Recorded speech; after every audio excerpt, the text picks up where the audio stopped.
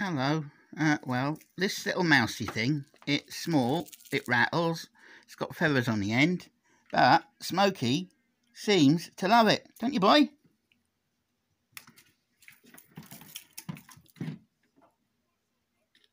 And you can play with it for what seems like hours, because it disappeared under there.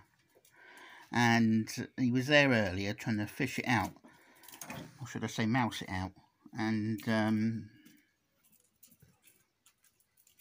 is he gone? He's there somewhere. There he is. Yeah so there you go. One happy cat. One knackered human. But um, I'm happy because uh, cricket's back on uh, the telly with the T10 Championship League thing. A great day. Ta-da.